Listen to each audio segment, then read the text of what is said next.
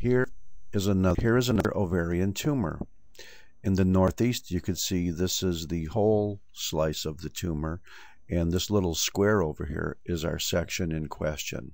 I don't want to show you the gross specimen and I don't want to go to other areas because there's something very confusing about this slide and I'd rather not introduce that. Notice that the cells of this tumor may remind you of other types of cells that you may remember from the ovary. Do you remember that when the follicles develop, you have an abundant amount of granulosa cells which form the internal contents of the developing follicles.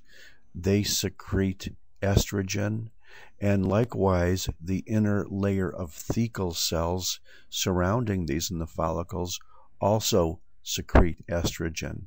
That's why granulosa cell tumors and thecal tumors may often be what we call functional or endocrinologically active, secreting estrogen.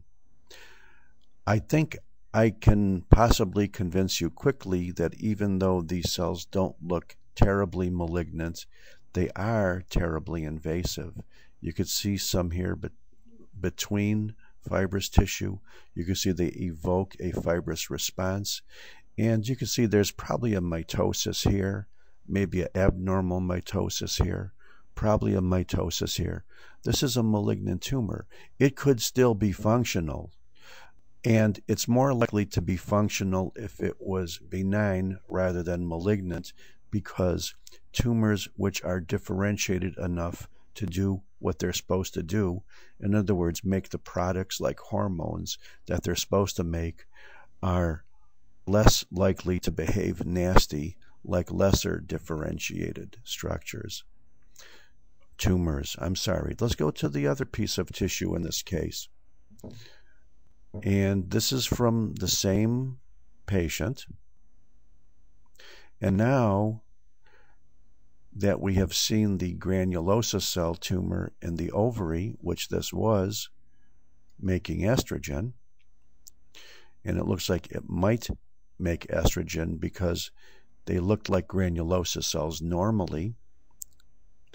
Let's take a look at another part of the body, the uterus if the granulosa cell tumor was making increased estrogen, it might explain why the endometrium on the inside of this uterus was so proliferated is because it was under the control of this estrogen and it has now become hyperplastic.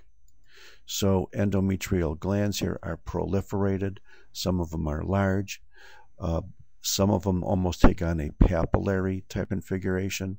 This is hyperplastic endometrium secondary to the hyperestrogenism of a functional granulosa cell tumor. Thank you very much.